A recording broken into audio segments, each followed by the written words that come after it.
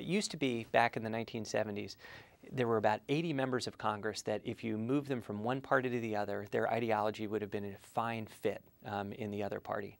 Now that number is zero. Every single Republican is more conservative than every single Democrat.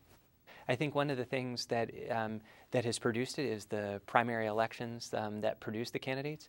Um, in at least House elections, we have um, a process called redistricting, where um, districts are drawn in such a way that incumbents really can't lose. Um, so the more worrisome election isn't the election between the Republican and the Democrat; it's between, say, two Republicans in a primary, and then the contest is who can be more conservative to those primary voters, or on the Democratic side, who can be more liberal.